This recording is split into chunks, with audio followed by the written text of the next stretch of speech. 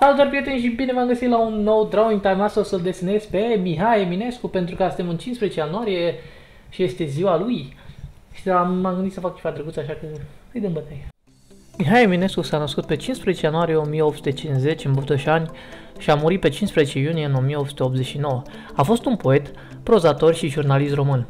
Socotit de cititorii români și de critica literară postumă, drept cea mai importantă voce poetică în literatura română. Receptiv la romantismele europene din secolul XVIII și XIX, a asimilat viziunile poetice occidentale, creația sa aparținând unui romantism literar relativ întârziat.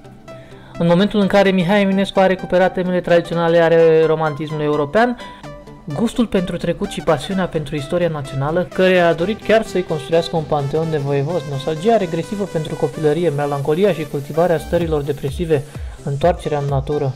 Poezia europeană descoperă paradigma modernismului prin Charles Baudelaire sau Stefan Mallarmé, bunoară.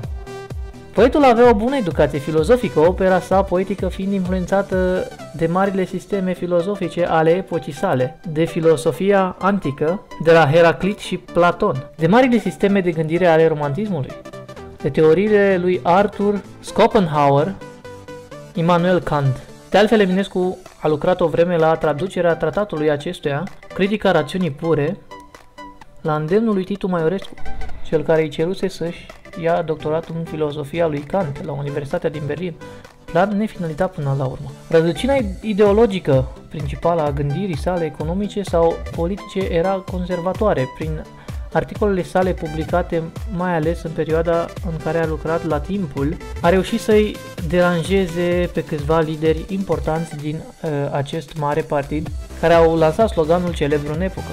Ia mai opriți-l pe Eminescu ăsta. Publicistica eminesciană oferă cititorilor o radiografie a vieții politice, parlamentare sau guvernamentale în această epocă.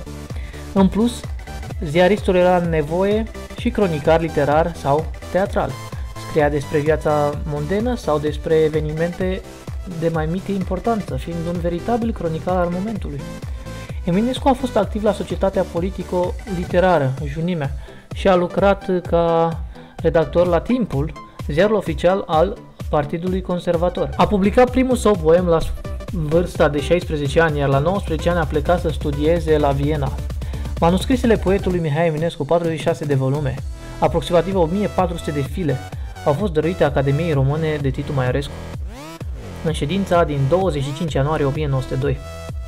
Eminescu a fost internat în 3 februarie 1889 la Spitalul Mărcuța din București și apoi a fost transportat la sanatoriul Caritas. Data de 15 iunie 1889, în jurul orei 4 dimineața, poetul a murit în sanatoriul doctorului Suțu.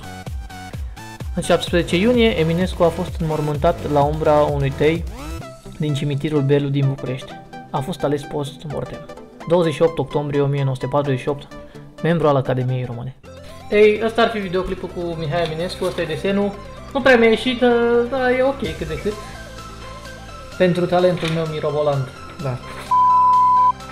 Dar uh, sper că v-a plăcut. Nu uitați să dați like, să vă abonați canalului și ne vedem data viitoare și în special abonați-vă.